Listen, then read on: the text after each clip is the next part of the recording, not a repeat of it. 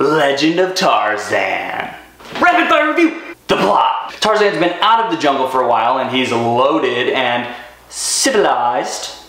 Then there's a few things that come along that force him to go back into the jungle, but mostly just to fight slavery. And it's just a blast from there. And I really liked it. Alexander Skarsgård. I thought he was great as Tarzan. He's really believable as the character and he's intense. Margot Robbie.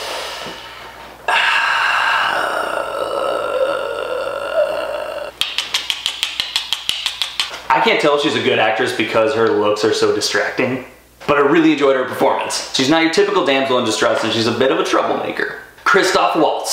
Same characters you see in every other movie he's in. He's an asshole, you hate him, but he's so good at it. Samuel L. Jackson. Same character as he is in every other movie, and that's a badass motherfucker. Digimon Huansao? No idea how to pronounce his name, but he's fucking amazing.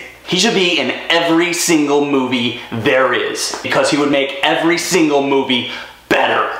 This gorilla, fuck yeah.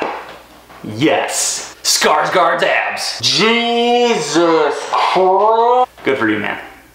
Nice. Overall, I thought it was a sweet movie. The script has layers, it's never slow, and it's well thought out.